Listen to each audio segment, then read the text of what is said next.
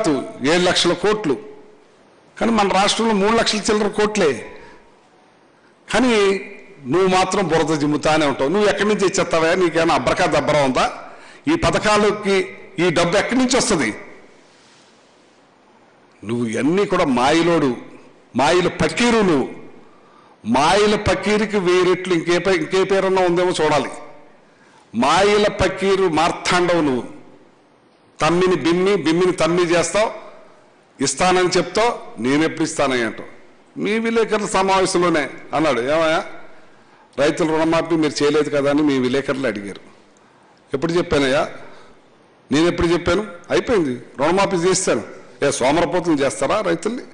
రైతులు సోమరపోతులు చేస్తారుగా మీరు ఈ రుణమాఫీలన్నీ పెట్టి అని మీ మీదే అడ్డంగా మాట్లాడతారు. మీరు మాట్లాడరు. మీ వీడియో క్లిప్ లేకుండా తీసుకోండి. ఈయన రేపొద్దున నేను ఎప్పుడు చెప్పాను అంటాడు. అంటే అతను నిజం చెప్తే అతను తలకాయ వెయ్యి చెక్కలు అవుద్ది. అంచేత అన్నీ చెప్పి అన్ని అబద్ధాలే. అతని అబద్ధాలే మో మోస్తాడు కానీ నిజాలు మాత్రం మోయడు. ఈ నాలుగు సంవత్సరాల్లో జగన్మోహన్ రెడ్డి గారు